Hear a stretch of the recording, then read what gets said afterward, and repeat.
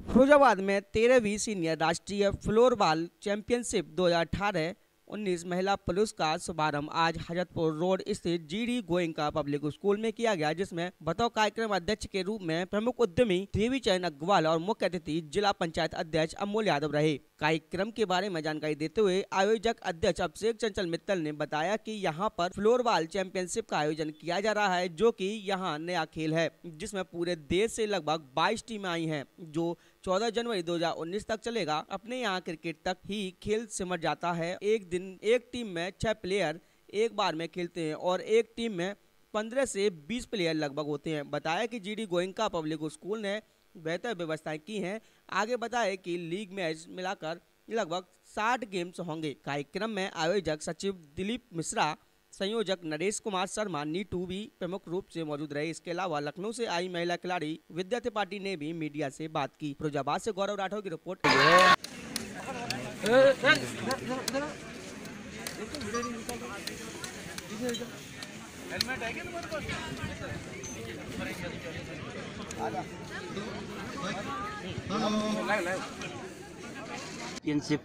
का आयोजन किया जा रहा है जीडी गोइंग का।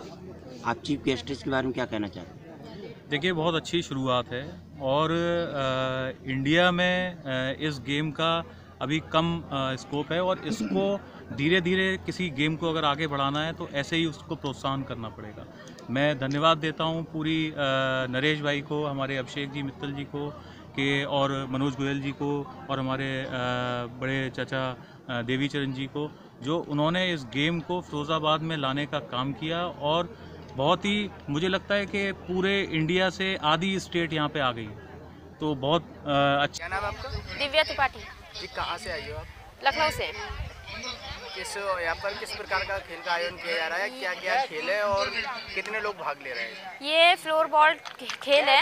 इंडिया में इतना पॉपुलर नहीं है बट इसे विदेश में बहुत स्कोप मिला हुआ है। इंडिया में लगभग दस आठ दस साल से आ चुका है बट इसे लोग ज़्यादा जानते नहीं। जिससे आइस हॉकी होता है सेम उसी तरह बस ये फ्लोर बॉल से फ्लोर पे खेलते हैं। और यहाँ पर काफ़ी सारी टीमें हैं? बारह तेरह टीमें हैं अभी और टीमें आने वाली हैं तो कन्फर्म अभी हम बता नहीं सकते आपको कितनी टीमें बाकी अगर ये जिस तरह से विदेशों में इस टीम को इस गेम को बहुत स्कोप मिला है उससे से कुछ टाइम के बाद मुश्किल से पाँच यहाँ पर आज फ्लोर बॉल गेम का आयोजन किया गया है जिसमें पूरे प्रदेश से लग, पूरे देश से लगभग 22 स्टेट की टीमें आई हैं गर्ल्स और बॉयज़ में।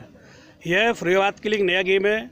इससे पहले भी हमने एक रग्बी और बेसबॉल का आयोजन किया था वो भी फरीदाबाद के लिए नया गेम था। फरीदाबाद में ज़्यादातर सारा गेम क्रिकेट पर आकर रुक जाता है। यहाँ पर जो भी प्लेयर हैं वो सिर्फ़ क्रिकेट के ही हैं बाकी किसी भी गेम के या कोई भी प्लेयर नहीं है।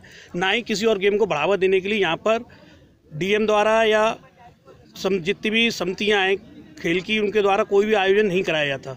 हमने ये पहला आयोजन किया है और हम इसमें देख रहे हैं काफ़ी बच्चे आए हुए हैं बाहर से और सभी अच्छे खेलने वाले हैं जो लोग। आप लोग इनका वो देखेंगे खेल, तब आप उसको देखना। और ये गेम एक बहुत बढ़िया गेम है, हॉकी की तरह खेला जाता है।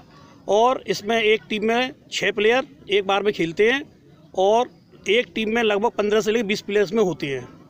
यहाँ पर इस आयोजन की ज़िम्मेदारी हमें फ्लोर बॉल एसोसिएशन के सेक्रेटरी सुभाष चंद्रा जी ने दी थी। वो भी यहाँ पर आए हुए हैं और उन्होंने भी इस गेम को करने के लिए कल से बहुत मेहनत कर रहे हैं। कल से आए हुए हैं, उन्होंने सारी व्यवस्था यहाँ पर करी हैं। और इस आयोजन में सबसे बेहतर व्यवस्था हमारी जी डी गोइंका स्कूल वालों ने, मनोज गोयल जी ने की है। उन्होंने अपना सारा हॉस्टल गर्ल्स के लिए दिया है यहाँ पर, पूरा पार्क दिया और यहाँ पर जितना भी अरेंजमेंट आप देख रहे हैं, उसमें सारा सहयोग मनोज गोयल जी का है। और बॉयज़ की ठहरने व्यवस्था कृषि विज्ञान केंद्र के द्वारा की गई है। बॉयज़ सब कृषि विज्ञान केंद्र में ठहरे हुए हैं। और यहाँ पर जितने ही बच्चे आए हैं सब बच्चे कल से अपनी पूरी प्रैक्टिस कर रहे हैं और आज से इनका गेम शुरू होने हैं और ये गेम परसों तक चलेंगे। लगभग लीग मैच मिलाकर साठ गेम होने हैं और साठों गेम का आयोजन आज से शुरू होकर परसों दोपहर तक समाप्त होगा। कुल कितनी टीमों ने भाग लिया है इसमें? लगभग तेईस स्टेट की टीमें तो बॉयज़ की हैं और सात स्टेट की टीमें गर्ल्स की हैं।